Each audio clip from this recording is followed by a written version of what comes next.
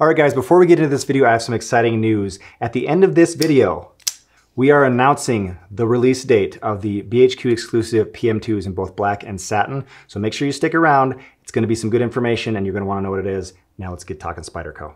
What's happening everybody? Welcome to another new product video for 2021. Today we're talking Spyderco and I have Eric Glesser himself here with me today. Eric, how's it going? I'm doing great. How are you doing?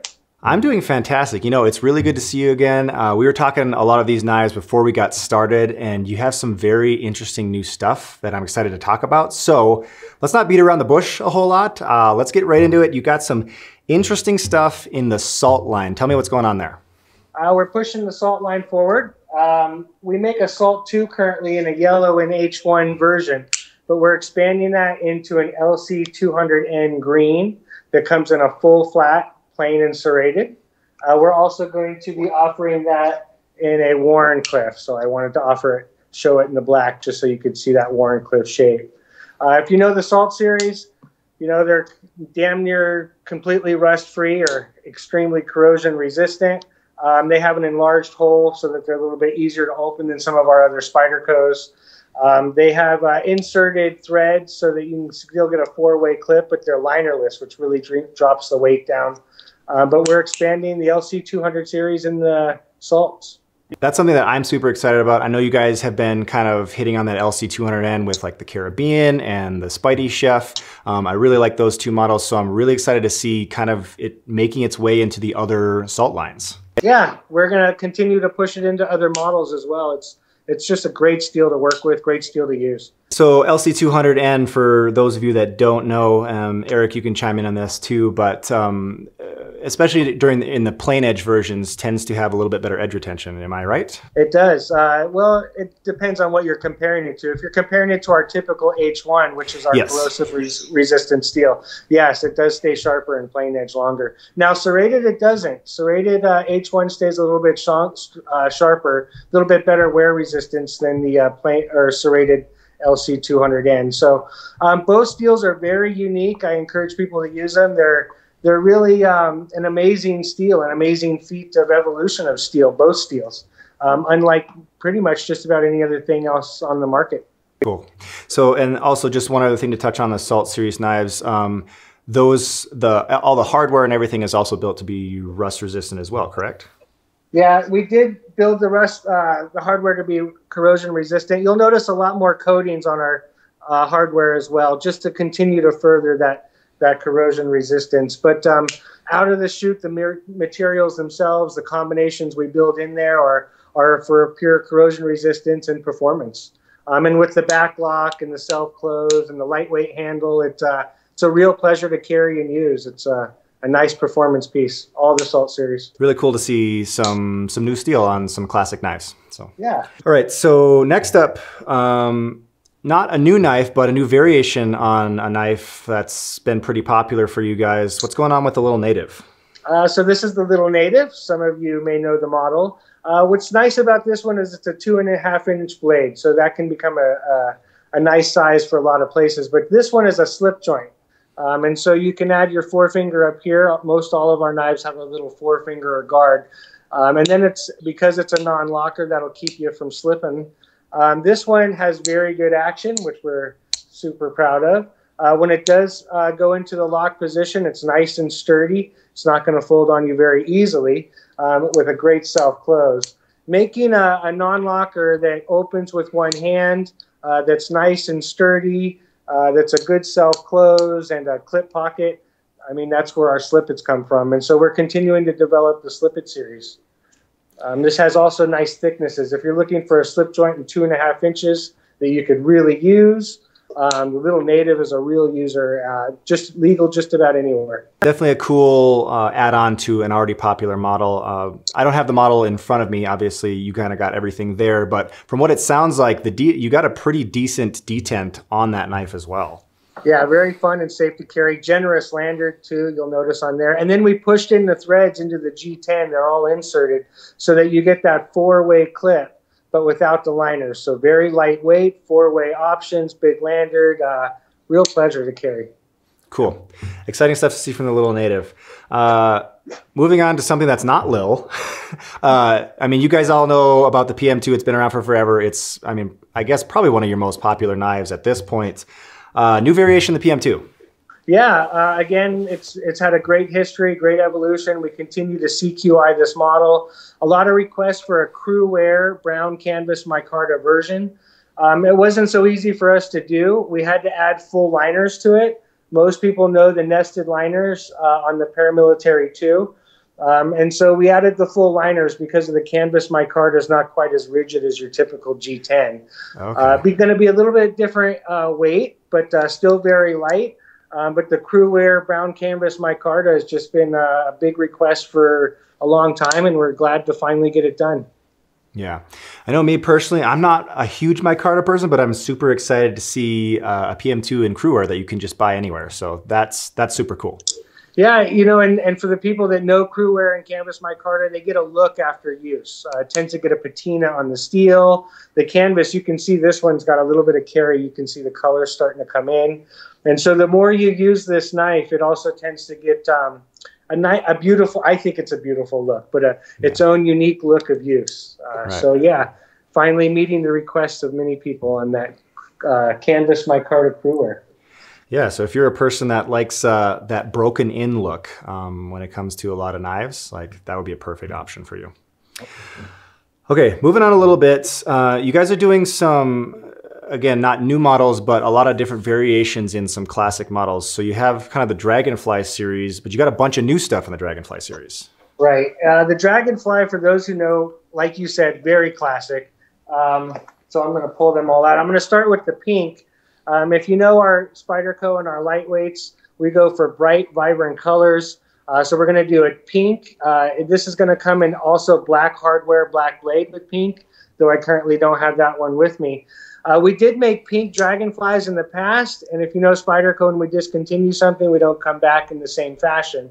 So in order to CQI this a little bit, this one has CPM S30V blade steel, uh, so we're going to bump up the grade a little bit, um, two and a half inches.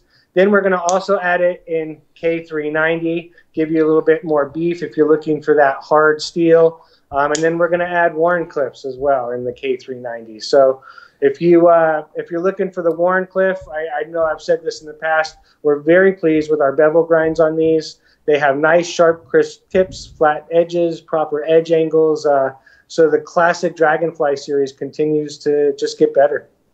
Love it. So I love me a good Wharncliffe. I think it rips through boxes and stuff that I do on a daily basis uh, very well. I also love to see some new steel options. So base model uh, Dragonfly is usually VG10, correct? Correct. Um, and so, so, the K390 and S30V really bump it up. Yeah, so you have some interesting new, uh, interesting new steel options there. The K390 is super cool because if you just want something to hold an edge for forever, you have an option now uh, in a smaller Dragonfly. So yeah, um, tremendous wear resistance. Yep. So speaking of K390, so yeah, there's more in here you're going to see of K390. But the big push, and I'm just going to show this in VG10 because I don't have the current K390 model, we're just going to add teeth. Um, and so you're looking at a non-stainless, super hard steel, incredible wear resistant, but with Spyderco's classic serrations, which I believe we make some of the best teeth around. Why this is important uh, is you typically don't get steels that are this hard with teeth.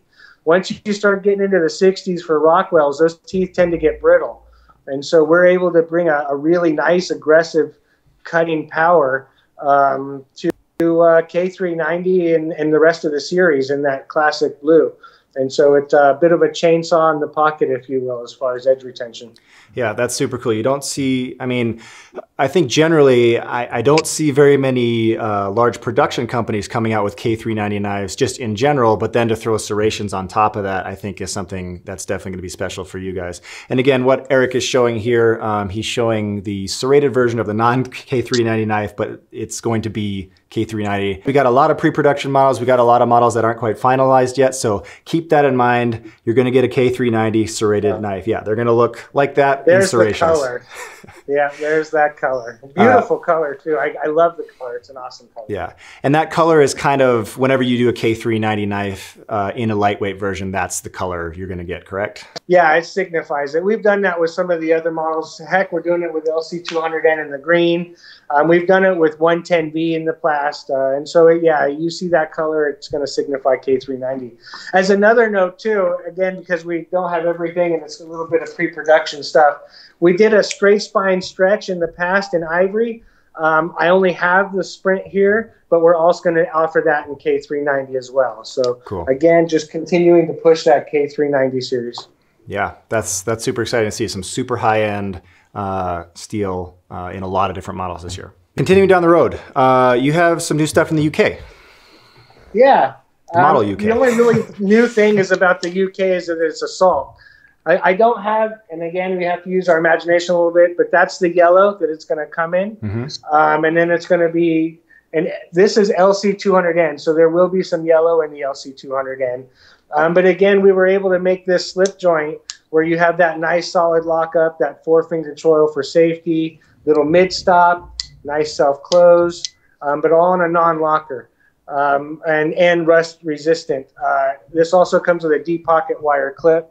Um, and so, because of the laws and things that are going on, on in the world, the UK continues to be a growing model. Uh, and making it an assault series with a little bit of a vibrant color is just a nice add to the, to the line. Right. So you want something maybe a little bit slimmer, a little bit longer blade length than like the little native slip joint might be a good option for you. Yeah, yeah, nice thin and lightweight, um, fairly open construction. It's a fun carry. Awesome. It is. Um, and then kind of before we get to kind of the exciting stuff at the end here, you got the Phoenix. Yeah, I love this knife. Uh, I uh, I have a, a, history with Howard Viele. I'm a big fan. He's the designer. Uh, he passed away recently. Uh, a brilliant designer in the custom knife world did it for, for a very long time.